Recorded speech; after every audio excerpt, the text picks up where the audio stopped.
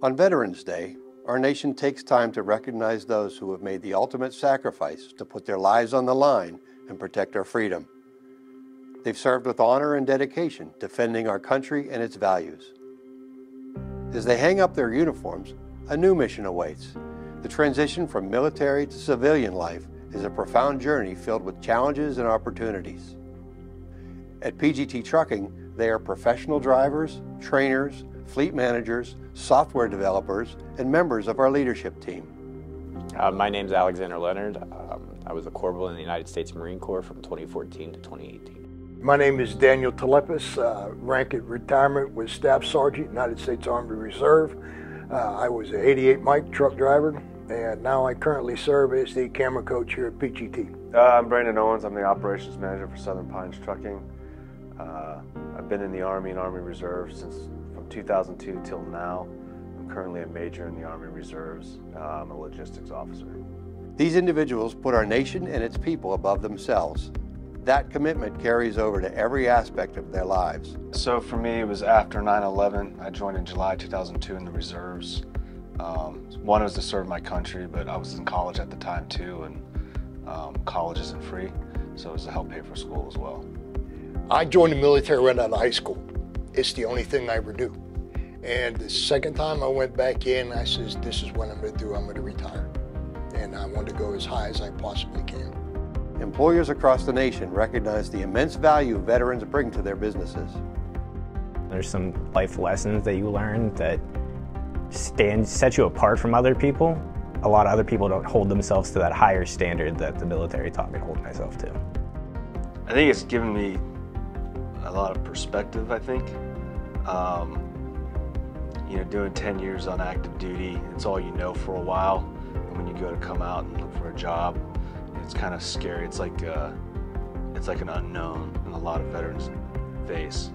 You're outside of that military role, so how you may have acted in a office setting in the Army is not the same as how you would act in the private sector.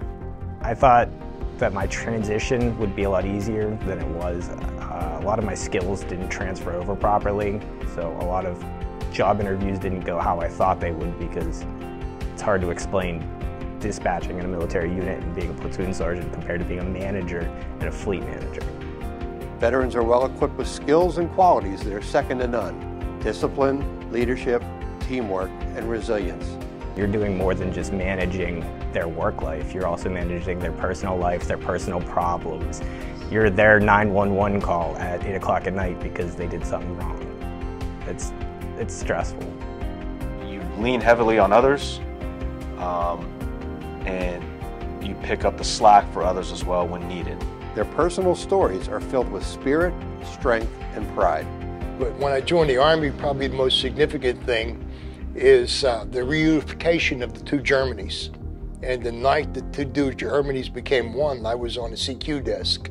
So I got to make an entry in the log, you know, the day that it unified. And that'll be in a record that'll be there forever. Spending most of my active duty time in the airborne was being a jump master and actually being one responsible for the preparation, inspection, and then exiting paratroopers out of aircraft. Um, highly stressful, a lot of responsibility, but I was very proud to, to be able to perform that. And as veterans journey into civilian careers, they carry with them the same unwavering commitment that has always defined them. Coming from an enlisted standpoint, uh, use your resources. The GI Bill is probably the greatest thing that I've gotten out of my four years. It's, it supports you while you're going to school. It allows you to go get a new skill, whether that be go to college or go learn a trade. Go get that higher education so you can stand out a little bit more than the rest. And don't be afraid to network. Somewhere along the line, you've got a friend that's been there that can help you get there. At PGT Trucking, every veteran has a place, a purpose, and the opportunity to grow. Do things even if they make you uncomfortable.